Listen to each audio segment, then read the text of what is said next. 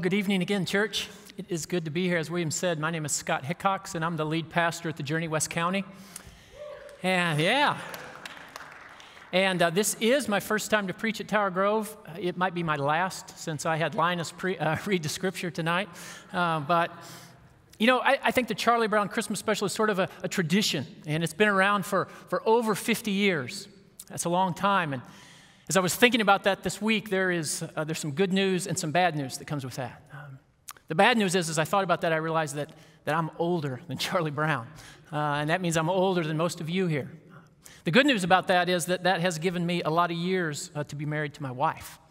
And uh, tonight we're celebrating our 28th wedding anniversary. Uh, so we're celebrating that with you tonight. And we're excited uh, to be here. You know, Charlie Brown is known for, he's sort of known for that yellow shirt with the, the zigzag on there. Lucy's known as the one who pulls the football away every time Charlie gets ready to kick. And, and Linus is known for that blanket, right? His security blanket. He, he never lets it go. And throughout the story, uh, Charlie and Lucy and Snoopy, they're all trying to get him to put that blanket down. They encourage him. Sometimes they, they try and shame him, but he never uh, puts the blanket down. But what's interesting about Linus in the, in the Charlie Brown Christmas, as he recites the Christmas story there from Luke 2, is he actually puts the blanket down. Right when he recites the words that the angel spoke, when the angel said, Fear not, he drops the blanket. And I think Charles Schulz, the creator of Peanuts, I think he was reminding us of this beautiful truth, and that is when we behold Jesus, our fears subside. When, when we behold Jesus, our fears subside. See, the birth of Jesus frees us from the habits that we're unable or, un- or unwilling to let go of. The birth of Jesus allows us to simply uh, drop that, that false security that we've been grasping onto and instead encourages us to, to trust and to cling to Jesus instead. The good news of Christmas is that, that we don't have to be afraid. Christmas reminds us that, that in our fear, Jesus drew near. The gospel is, is a bridge from fear to joy. And so tonight we're continuing in this, this Advent series that we've been in. We're looking at different themes of Advent each week. And remember, Advent simply means coming. And it's a season in the church calendar, uh, it leading up to Christmas when we reflect on the coming of Jesus. I know a couple of weeks ago, Pastor Tim, uh, he preached about hope. And then last week, Pastor John preached on, on peace. And tonight, we're going to look at joy. And as I was reflecting this week, I think it's ironic, though, that that all these themes that we talk about around Christmas time hope and peace and joy those are the things that oftentimes are so elusive to us, particularly at this time of year. Of all the wonderful promises contained in the Christmas story, um, the one that seems to be the most missing, I think, is, is joy. I mean, how many people do you know who would describe their life as, as full of great joy? And yet, the proclamation by the angels to the shepherds was, was that this baby was going to be born. And he would bring good news of great joy, and it would be for all the people. The angels declared this joy. Mary and Joseph were, were amazed by joy. The wise men were, were filled with joy. The shepherds were told, left rejoicing. And if you go back even a little bit farther in the story, we didn't read that tonight, but if you go back, uh, Jesus' cousin John the Baptist while he was still in the womb of his mother, the scripture says that he leaped for joy in Elizabeth's womb. So the Christmas story is a story filled with joy. And yet I know that many of our lives are not. The, the truth is, Christmas can be a really painful time of year for lots of people. There's loneliness, lost loved ones, unhealthy family dynamics, there's financial burdens, there, there are health issues, the list goes on and on. Christmas can be very hard for many people. And so, my hope tonight is that we might see wh- whether we're happy or, or sad, whether we're alone or with loved ones, regardless of what our circumstances are, my hope tonight is that this message of Christmas would be one of joy, of great joy, a joy that transcends all the pain and all the difficulties of life. So, no matter what you're going through today, no matter what you're feeling, the message of Christmas is good news of great joy for all people. And Christmas doesn't change your circumstances, but it can change your perspective. Christmas doesn't change your circumstances, but it can change your perspective. You may not feel happy tonight, But the message of Christmas is filled with such hope and such wonder that I'm hoping that when we truly see that, that we might begin to experience his joy. That's my prayer tonight, even for us during this Christmas season. So I just want to pray as we as we enter in here. Let me just pray to that end for us. Father, you know we come in here, uh, we've come in out of the weather, we've come in from all different places, feeling all kinds of emotions. Lord, and many of us, uh, joy seems uh, like a distant dream to us. So I pray tonight um, that you would open our eyes to see this good news of great joy, that you might even tonight help us begin to experience the joy that you have for us. So we need you. Uh, we need your spirit to move in this place. We need your spirit to teach us. And so I pray now, Lord, that you would do that. In Jesus' name, amen. Well, church, when you, when you think about joy, uh, what, what comes to mind for you? How would you, how would you define joy? I did some looking on the internet. I, I kind of pieced together a definition I pulled from different things, but I thought these were very good, so I put them all together. Joy is a happy strength, a, a bold confidence, a, an abiding peace, an, an inner celebration, regardless of what's going on around us. That's what joy is. And I would argue that, that everyone wants that. I would, ever, I would argue that, that everyone wants to experience that kind of joy. And yet, far too often, we, we allow our circumstances to rob us of that joy, to keep us from being able to experience that joy. When I was thinking about this, thinking about the word as it's defined here, a bold confidence, an abiding peace. A couple, couple things came to mind for me. First was uh, some friends of ours in Kansas City. We came from Kansas City about four years ago. Uh, some dear friends of ours, I didn't meet them until their, their 18 month old daughter was diagnosed with a brain tumor. That was my first introduction to them. And, and so Marley had surgery on this tumor. They removed the tumor, and, and, and we felt like things were good. And the, and the following day, then she had a massive stroke and it was paralyzed on the right side of her body. And for the next 18 months, uh, she battled until uh, she passed away at three years of age. And I can still remember uh, the funeral, uh, even as I think about it. Tears come. Uh, I had the privilege of being a part of that. And at the end of the service, they, the family wanted a time to, to worship through song. And I can still remember being on the stage, looking out a sanctuary with probably over a thousand people, people standing and singing, and on the front row Marley's mom and dad hands raised, praising God. Tears were flowing. They were, they were grieving intensely. They were not happy, but they had joy. See, their hope was not in their circumstances, their hope was in God. Now, I'm not suggesting that how, that's how it looks for everyone. That's not what I'm saying. That's not how it looked for me, and it wasn't my daughter. But what stands out to me is that there is something that transcends how we feel in the moment. When we have confidence in who God is, and we have hope in His promises, then we can actually have joy despite what's going on around us. I was also thinking about, I was thinking about Haiti a lot this week. Over the years, I've had the opportunity to travel to Haiti on dozens of occasions. I don't know how much you know about Haiti, but, but about 80% of the people there, there live beneath the poverty line. The average uh, annual per capita income is $350. $350 a year. That's the average income in Haiti. And yet, the believers in Haiti, they don't seem to be fazed by that. They're, they're content. They're some of the most joyful people I've ever met. And I remember, uh, just particularly, I had the privilege, I was invited to go and preach. Actually, a friend of mine was a pastor at a church, so he invited me to come preach on the one year anniversary of the earthquake in Haiti. And I, I went down there in a place, a sanctuary about this size. They had rebuilt their church in a year. Certainly not this nice, but a building about this big. It was filled with people, probably 2,000 people jammed into this place. There was a balcony across the back. Um, no OSHA, no fire code. There was no railing on the balcony, hundreds of people on the balcony.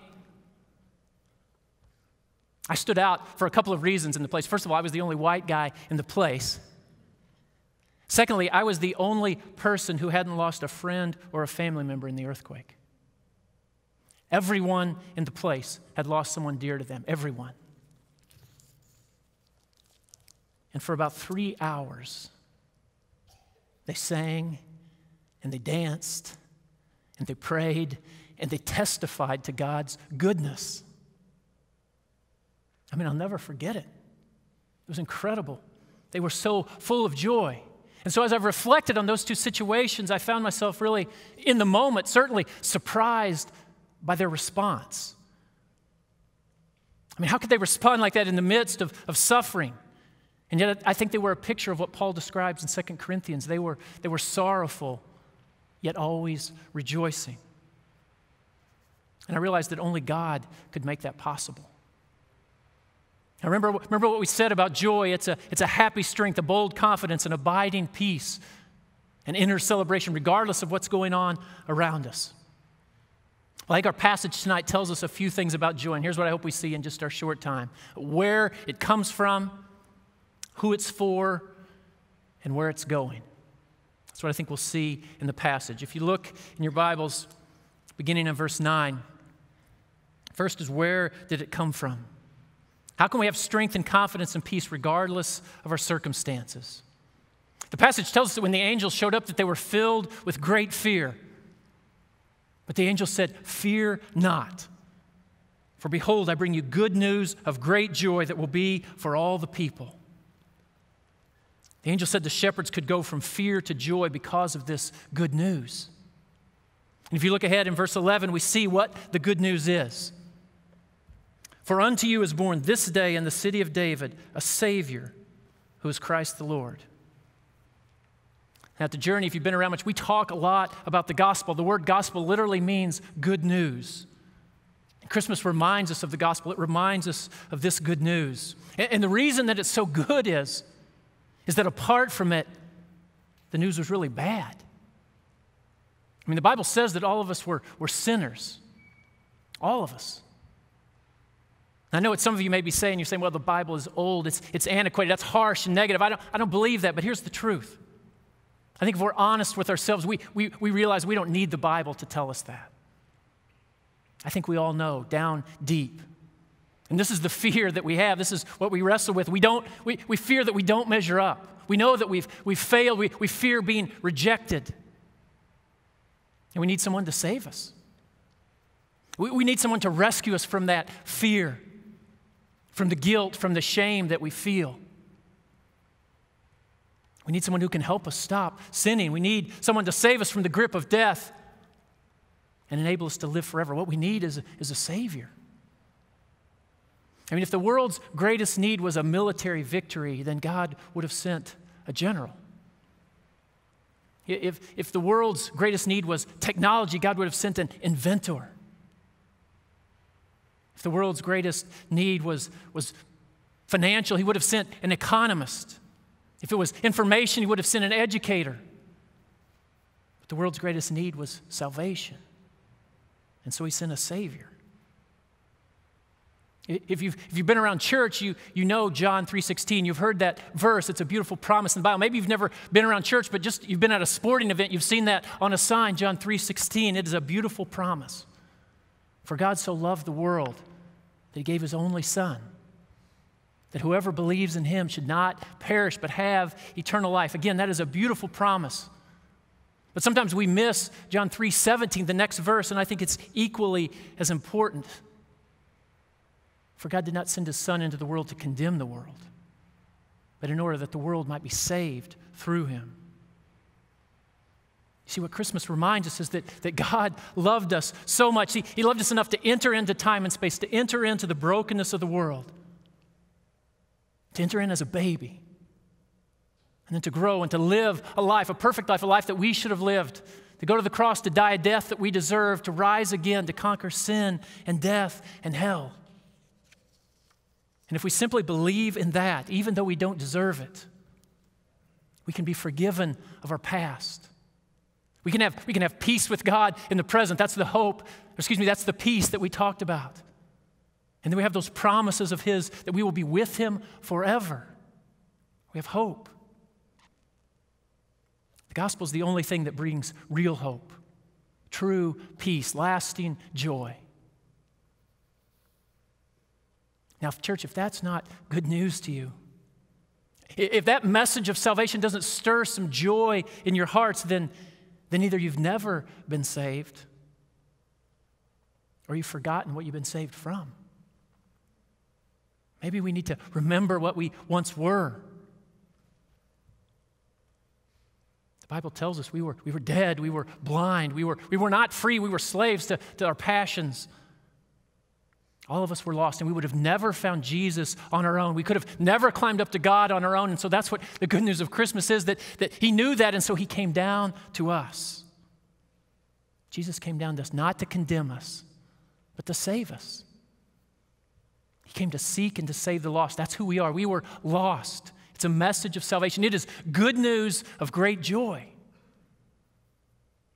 And when the shepherds received this good news, uh, the passage tells us that they went to Bethlehem to see. They found Mary and Joseph and the baby. They told them all the things that had happened to them. And if you skip ahead a bit, it tells us what happened after that. Look at verse 20. It says, And the shepherds returned, glorifying and praising God for all they had heard and seen as it had been told them. The Bible says that the shepherds returned with, with joy in their hearts. They'd gone from great fear to great joy because of the good news. But think about this the, the shepherds are returning to what? They're returning to shepherding, right? Did, did anything about their circumstances change? See, nothing changed.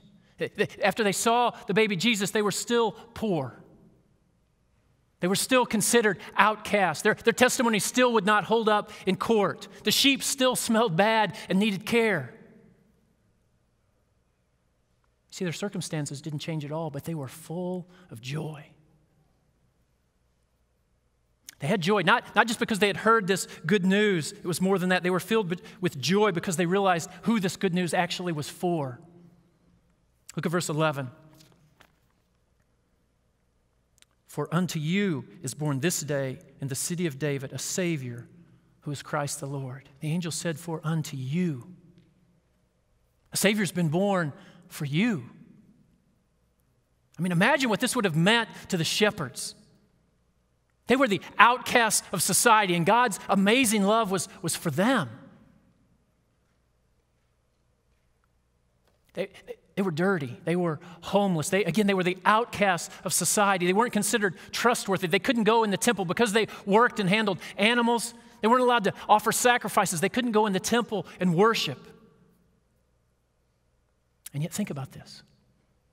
Immediately after God incarnate was born, this announcement of the good news didn't go to the ruling elite, it didn't go to the religious elite. They went to the outcasts of society. It's a beautiful thing about Christmas. God, the Christmas story reminds us that God came to those who couldn't come to Him on their own. See, Christmas reminds us that, that the good news is not just for the good, it's not just for those who, who act like they have their lives together. In fact, Jesus said He didn't come for the healthy, He came for the sick.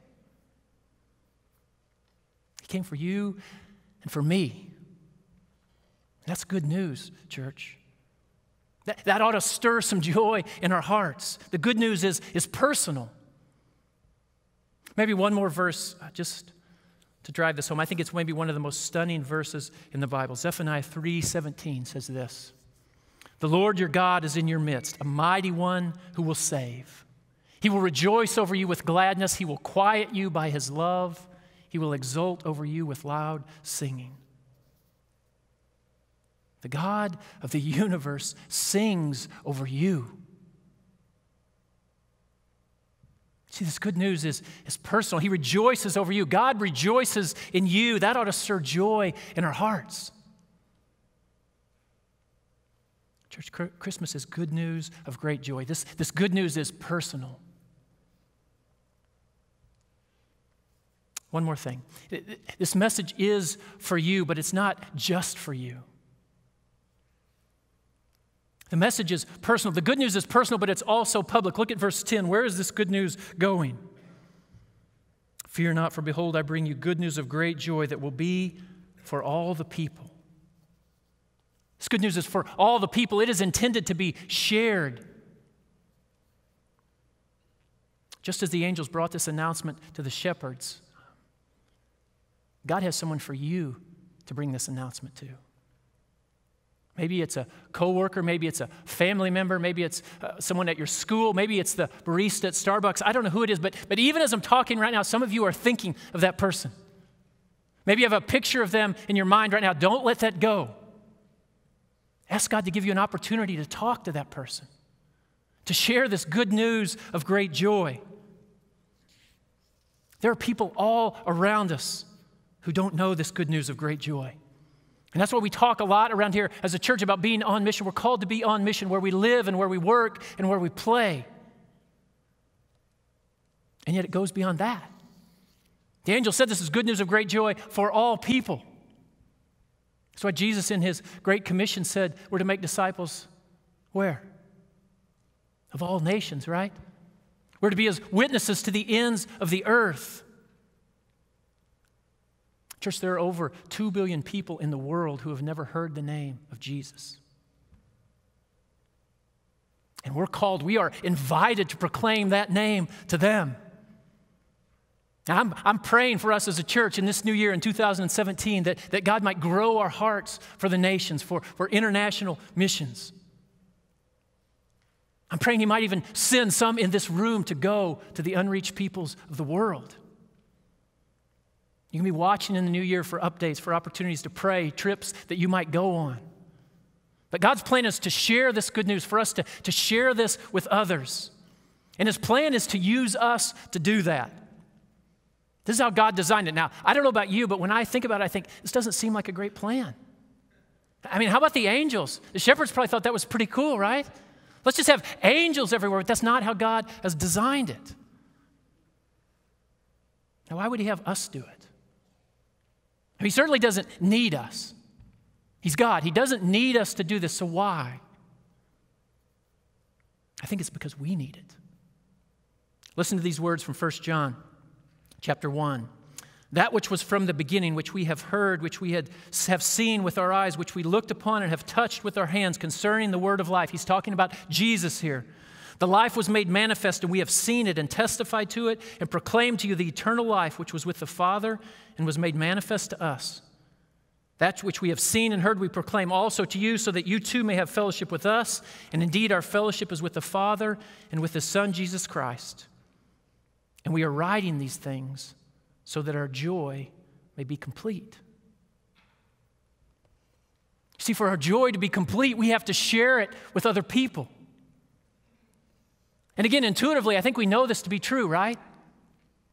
I mean, there's something in us. When we, when we experience something that we enjoy, we want to tell other people about it. Have you ever been about around a grandparent that has a new grandbaby? What do they want to do? They want to show you pictures, right, to talk about this grandbaby. Maybe when you hear a new song, music, maybe you've been listening to the, the, the, Hamilton soundtrack, you want to share one of those songs. Maybe you've been fortunate enough to see it in person. You want to tell other people about that. I guarantee you, tomorrow when I get to church, assuming we don't cancel, uh, when, I, when I get there, there's going to be people talking about Star Wars. The new movie just came out, and there's, there's some people in my church that love this movie. There's one guy in particular, he gets so excited about it. I know he's going to be so excited to tell me all about the movie. And listen, I don't care about Star Wars, I have no interest, but I'll probably be tempted to go just because of what he says. C.S. Lewis said this He said, The expression of our delight of joy is the consummation of the joy itself.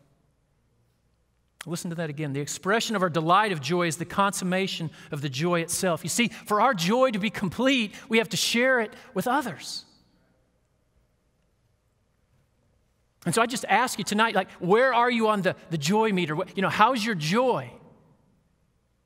And my guess is there will be a, a direct correlation to how much you're sharing the good news. Remember, I told you about my brothers and sisters in Haiti.